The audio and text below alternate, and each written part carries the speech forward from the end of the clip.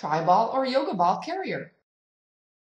If you need to carry the big balls for any distance, here's a simple way.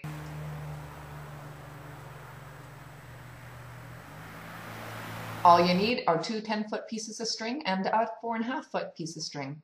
Lay the two long strings off. Use the shortest string to make a 30 centimeter or 1 foot square. By tying the shorter string around each of the other strings with a knot. Tie the last knot on the outside of the first to finish the square. This becomes the base for the ball.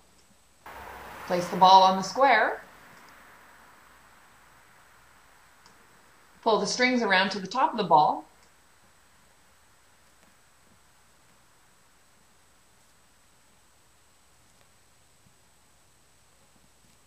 Tie an overhand knot close to the ball.